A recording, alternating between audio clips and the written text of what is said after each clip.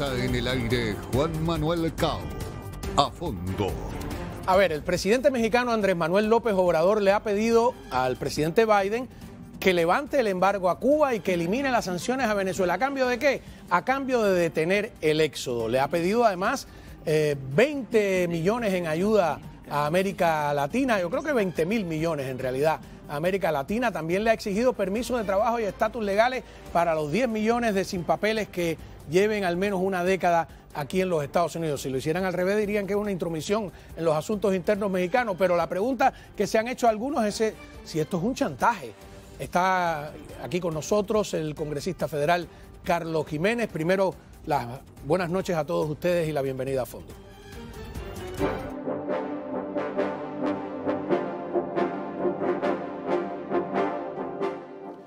Muy bien, congresista, gracias por estar aquí con nosotros. Feliz año nuevo. Feliz año nuevo a ti también. Como nos vamos a empezar con una nota en la voz del periodista José Antonio Évora, eh, precisamente sobre este chantaje, vamos a llamarlo así, de Andrés Manuel López Obrador. La crisis en la frontera le ha dado una herramienta al presidente de México para chantajear a la Casa Blanca. Andrés Manuel López Obrador está pidiéndole al presidente Biden que levante el embargo a Cuba, que elimine las sanciones a Venezuela y que además entregue 20 mil millones en ayuda a América Latina. Lo que deberían de estar haciendo los legisladores de Estados Unidos en el Congreso es aprobar un plan para el desarrollo de los pueblos de América Latina el presidente mexicano exige también que el gobierno de Estados Unidos les dé permiso de trabajo y estatus legal a 10 millones de indocumentados que llevan al menos una década viviendo en el país. La premisa de López Obrador es que el flujo masivo de migrantes hacia Estados Unidos se debe a la pobreza en sus países y que si Estados Unidos quiere resolver el problema, debe pagar. Según encuestas, la mayoría de los estadounidenses desaprueban la gestión de Biden en la frontera. Bueno, muy bien. Muchísimas gracias a José Antonio Évora. Eh, congresista, ya usted vio al presidente de México diciendo lo que usted, lo que deberían hacer los legisladores de Estados Unidos es un plan para entregar estos 20 mil millones de dólares para sacar a América Latina de la pobreza. ¿Le parece una buena idea? Eh, no.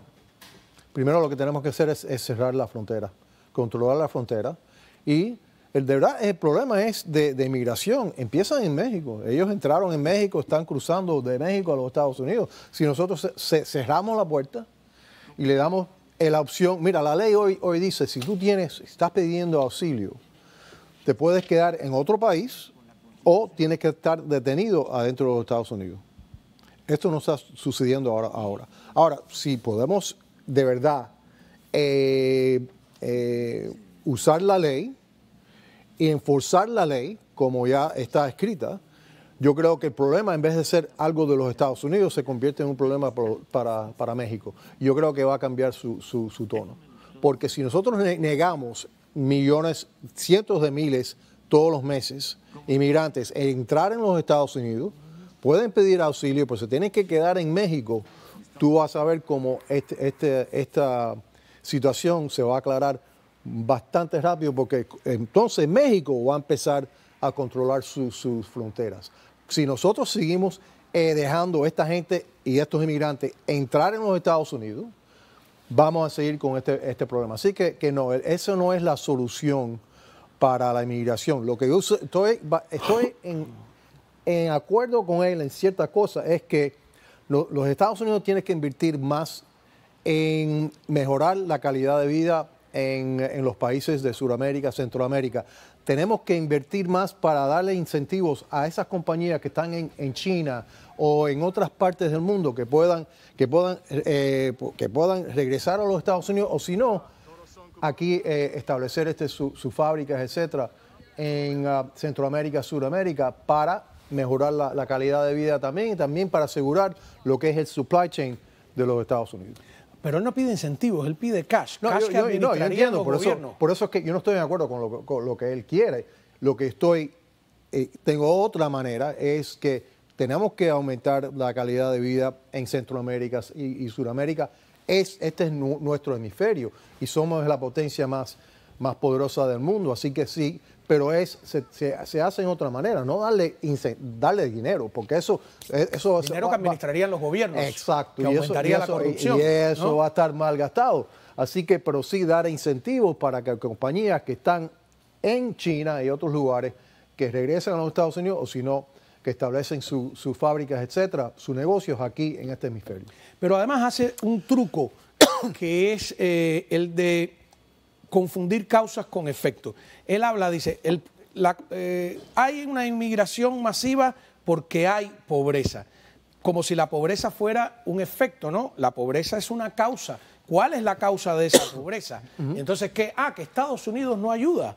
No, la causa de la pobreza, si uno ve los informes de Heritage Foundation, incluso de las asociaciones también de, de no de derecha, pues uno ve que primero que todo es la el intervencionismo estatal, eh, la, corrupción La corrupción. política, eh, la, la fal- Por ejemplo, en Centroamérica, en Honduras, para abrir una empresa, la cantidad de regulaciones gubernamentales es una cosa complicadísima Sí. abrir una empresa. Luego que abres la empresa, evitar la mordida de los funcionarios, la corrupción, Exacto. etcétera, ¿no? Porque eh, vemos que de repente la vicepresidenta Kamala Harris dice que la gente está viniendo de Centroamérica porque hay una gran sequía. ¿Le parece una explicación Sequía, ¿qué quiere decir eso? Que, que no, que, que no ha llovido mucho y entonces está seco como si fuera... No, eso es ridículo. Eso es climate change, porque todo- todos los problemas del, El del cambio mundo climático. es el, cambio climático, que es ridículo. Eso es, es ridículo. Así que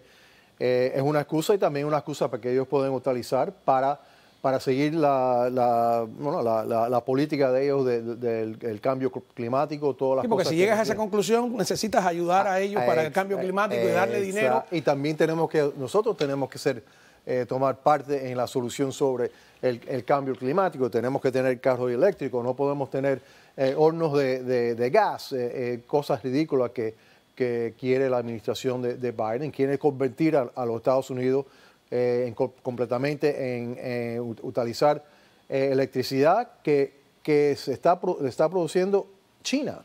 Así que ellos quieren que nosotros este, seamos, seamos dependientes a los, ah, la energía que está produciendo China.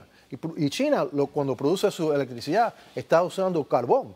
Así que ellos producen carbón para, eh, queman carbón para hacer la electricidad que ellos entonces utilizan para, crear este, est- los windmills y también los eh, solar panels que después ellos venden al resto del mundo. Pero ellos no usan lo- los solar panels y los windmills. Ellos usan carbón para, para crear la electricidad. Así que China es la, la nación que, que está que está, bueno, polluting el, el mundo a un nivel dos veces más de los Estados Unidos. ¿Y que, y qué? Y China no tiene que hacer nada en lo que es el Climate Pact de, de, de- Paris por hasta el año 2030. Y yo estoy seguro que en el año 2030 China no va a hacer nada tampoco.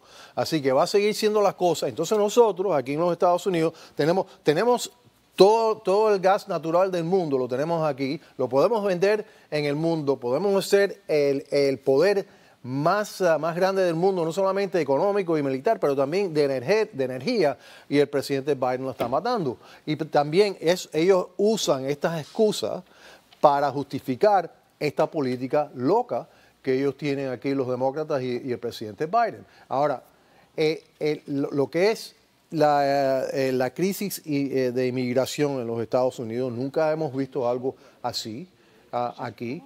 El presidente Biden y también el secretario Mayorkas, ellos desean esto, ellos cre- cre- crearon la crisis y no han hecho nada para parar la crisis Pero porque ellos, no es se- algo que ellos quieren a propósito. No, nadie puede Pero ser... parecen ahora asustados de su... ¿Qué? Parecen asustados ellos ahora. No, de- ellos te- parecen, pero no están haciendo nada para pararlo. Mira, nosotros hemos tenido eh, muchos, ah, muchos expertos, también oficiales de Customs and Border Patrol, que hemos nosotros eh, lo, hemos eh, puesto adelante pa- para testificar. Ellos nos han dicho que ellos en muchas oc- ocasiones le han dicho claramente al secretario y, y al presidente lo que tienen que hacer para parar esta crisis. Es simplemente restaurar las pólizas del, del presidente Trump. Ellos se niegan a hacer eso. Ellos saben lo que están haciendo. Esto todo es a propósito. La pregunta es, ¿por qué? Yo no tengo la respuesta a la, pregunta, pero la pregunta es, ¿por qué lo están haciendo? No sé, pero lo están haciendo a ¿Y propósito. por qué hacen la vista gorda sabiendo que Cuba, Nicaragua, eh, México, que son aliados políticos, ideológicos, tienen montada, o sea, ellos son los que tienen realmente montadas todas esas caravanas y no los tratan como tal?